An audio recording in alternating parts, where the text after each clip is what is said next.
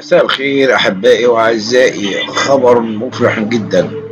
البرلمان المصري يوافق على قانون جديد لوضع المسيحية. من المقرر أن يوافق البرلمان المصري على قانون جديد تم صياغته بالتعاون مع الكنائس المحلية المسيحية فيما يتعلق بالوضع القانوني الشخصي للمسيحيين في البلاد. ومن المتوقع أن يوافق البرلمان قريبا على قانون طال انتظاره بشأن الأحوال الشخصية القانونية للمسيحيين في مصر.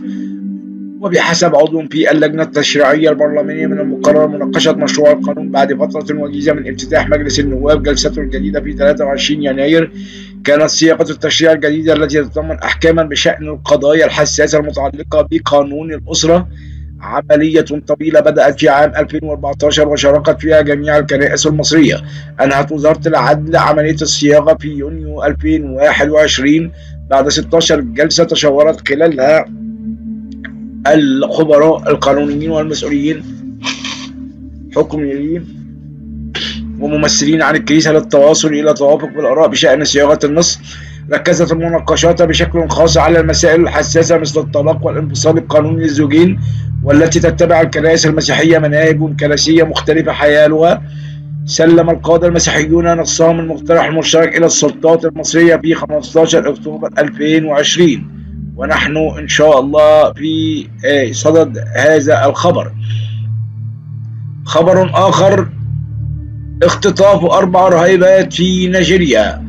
أعلنت راهبات يسوع المخلص أن أربعة من أخواتهن اختطفن في ولاية إيمو نيجيريا يوم الأحد وقالت الأمينة العامة للمجتمع الأخت جيتا في إعلان يوم 21 أغسطس أنه لألم شديد نلفت انتباهكم إلى اختطاف إخوتنا يوهانسون وكريستبل وليبرتا.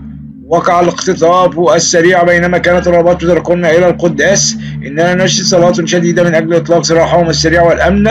وكتبت لنا الأخت جيتا تضاعفت عمليات خطف المسيحيين في نيجيريا في السنوات الأخيرة وهو وضع دفع قادة الكنيسة للتعبير عن قلقهم الشديد بشأن أمن أعضائهم ودعوة الحكومة إلى إعطاء الأولوية لأمن مواطنيها. خبر آخر ومن الأخبار المثيرة جدل مقتل شخص في إطلاق نار على منطقة مسيحية ألمانيا ترفض منح اللجوء للمسيحيين من إيران نسمع هذا الخبر. مقتل شخص في إطلاق نار على منطقة مسيحية في باكستان. لقي كسلوكي مسن مصرع بينما أصيب ثلاثة مراهقين بجروح عندما هاجم مسلحون بدرجات نارية. منطقة المسيحية في منطقة ماستون بإقليم بلوشستان الباكستاني. وأصيب ويلسون مسيح 65 سنة بثلاث رصاصات عندما فتح راكبا الدراجة البخارية. النار في ساحة لعب مفتوحة أمام المستعمرة المسيحية. وتم نقل المسيح والمراهقين الثلاثة المصابين إلى مركز الصدمات في المستشفى المدني في عاصمة المقاطعة كويتا. وتوفى مسيح صباح اليوم التالي. وأقيمت جلسته في كنيسة الطباوي جوزيف جيرارد بالقرب من المستعمرة. مسيح هو الأخ الأكبر لرجل هندري مسيح وهو برلماني من بلوشستان قتل على يد حارسه الشخصي في كويتا في 2014 وأن أغلبية هذه الدولة غير مسيحيين ويقتلها 115 مسيحيا. فقط ترك الأطفال المسلمون الأرض لصلاة المغرب. كان الأولاد الآخرين يلعبون عندما بدأ إطلاق النار. كان عم يصرخ للطلب المساعدة وصبي يبلغ من العمر 14 عام أصيب أيضا برصاصة في المعدة وفي حالة حرجة حسب ما قال دانش سليم ومن الأخبار المحزنة أيضا ألمانيا ترفض منح اللجوء للمسيحيين من إيران. رفضت المحكمة الأوروبية لحقوق الإنسان قضية إيراني تحول إلى المسيحية والذي طعن بترحيله من ألمانيا إلى إيران على أساس الحرية الدينية. يخشى النشطاء من أن قرار المحكمة يعني أن الرجل البالغ من عمر 44 عاما من المحتمل أن يواجه السجن والموت بسبب تحويله الديني. حسن الذي تم تغيير اسمه لحماية هويته وتم تسجيله فقط باسم H H في السجلات العامة. تقدم بطلب الحصول على اللجوء في عام 2013 ويقيم حاليا في ألمانيا. حيث يمكنه ممارسة عقيدته الحرية بعد أن اعترك هو وزوجته عائلته المسيحية. اقتحمت قوات الأمن في إيران منزلهم وسرق كتبهم وأجهزة الكمبيوتر وجهازات السفر والإنجيل ثم فر إلى ألمانيا مع أسرته عبر تركيا. وفي بيان صدر في 11 أغسطس حذر من أن إيران واحدة من أخطر الأماكن في العالم بالنسبة للمسيحيين يضطهد كل شخص بسبب إيمانه والمعتنقون معرضون للخطر بشكل خاص في العالم. الماضي تفاقم الاضطهاد الديني بشكل كبير. يمكن الحكم على من يطلق عليهم المنحرفون الدينيون بالسجن كما يتم استخدام تهم الأمن القومي باستمرار لاستهداف الأقليات الدينية. يجب على المحاكم في ألمانيا أن تأخذ ذلك في الاعتبار عند معالجة طلبات اللجوء إليها. نشكر الله أننا في مصر الكريمة مصر الحبيبة مصر التي تعتنق كل مسيحي مصر التي تحب كل محبيها. طالبان تقول لا يوجد مسيحيين يعيشون في أفغانستان. غادر اليهودي الأفغاني الوحيد المعروف كان حسين أندرياس مقاتلا دينيا في الحرب ضد الجيش السوفيتي الغاري على الغازي في أفغانستان في أوائل السبعينات ولكن بعد حوالي عام من مغادرة السوفيت اعتنق المسيحية على مدى السنوات التسعة. تقول أندرياس في العديد من البلدان الاقليميه وعانى من التعذيب وعرض عليه أخيرا وظيفة في كنيسة فيرجينيا مما مكنه من الهجرة إلى الولايات المتحدة.